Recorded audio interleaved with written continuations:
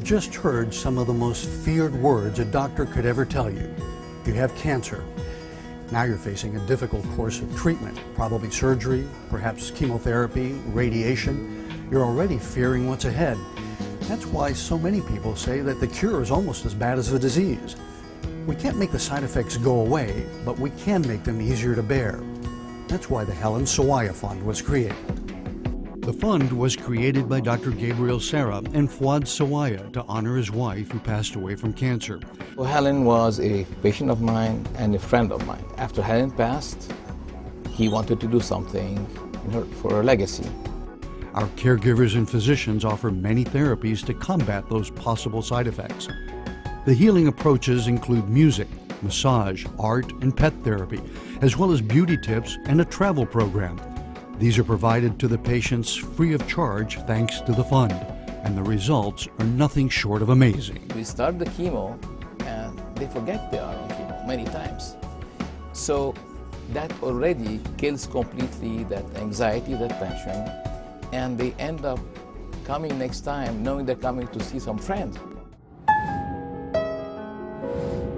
Possibly the most anxiety producing part of cancer treatment is chemotherapy. It's given in what doctors call the infusion suite. Thanks to the Helen Sawaya Fund, you will often be welcomed by the sound of live music. Music therapy serves as both a coping mechanism and as an aid to relaxation during treatment. I think the tempo of the music is very calming, it's very soothing, it kind of relaxes me it takes my mind off what's happening in real life. This is an environment where anxiety can be really high. There have been a number of clinical studies done that have proven that music therapy reduces anxiety in patients.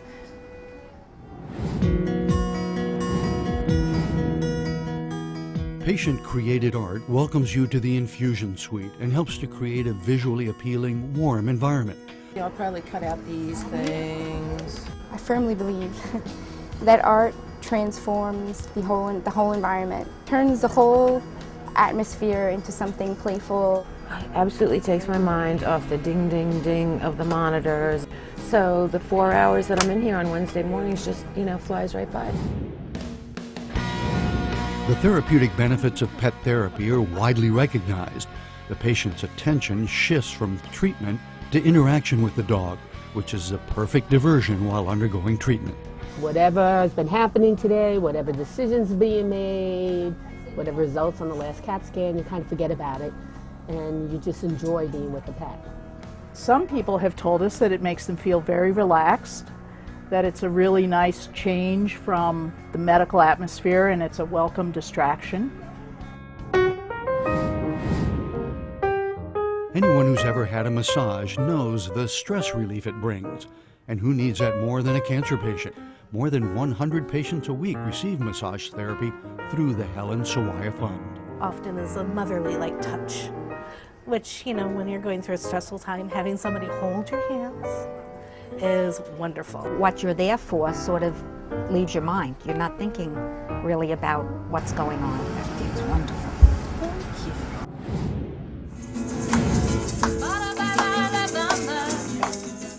You can feel the excitement in the infusion suite. That's because it's time again for the travel raffle. Every couple of months, there is a Laura's Journeys drawing that gives patients an adventure to look forward to while they're undergoing cancer treatment. Ramon Rivera.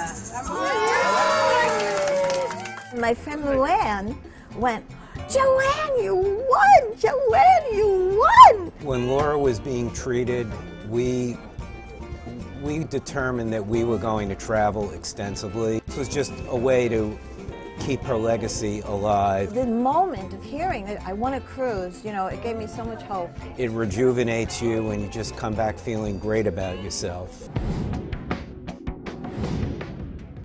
One of the most popular services provided by the Helen Sawaya Fund is known as Cleopatra's Touch. It offers patients the services of an upscale New York beauty salon they're treated to makeovers, hair and wig styling, and other tips designed specifically for cancer patients. The goal is to provide a woman a chance to restore their body image and self esteem. So I try to make it natural the way she had it before her hair fell out. I think Cleopatra's Touch is a great program. If you have this little moment to feel better, I think that's that's really really good. I really appreciate what she's doing here. Yeah, and it looks very natural. Can't underestimate the impact that the programs that are supportive to the emotional aspects of the patient. There's no money in the regular healthcare system to support that kind of activity.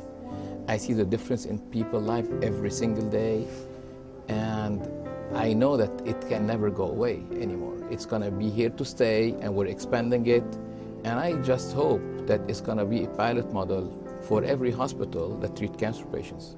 Helen Sawaya's spirit permeates the halls of St. Luke's Roosevelt Hospital. The fund fosters a familial feeling of love, warmth, caring, and support. There's an undeniable and profound impact from the various therapies. Every day there are small miracles from shared experiences. Many, including Lance Armstrong, have praised the program supported by the Helen Sawaya Fund and think they should be replicated across the country. Please join us